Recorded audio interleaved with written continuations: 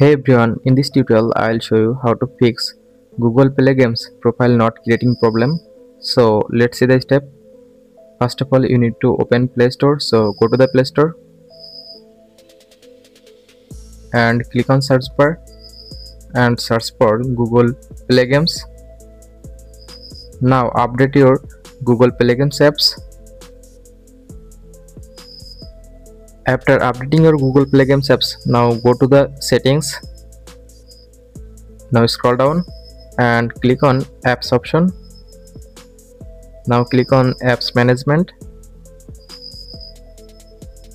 Now click on search bar and search for google play games. Now click on google play games. Now click on storage now click on clear data. Now click on clear all data. Now click on ok.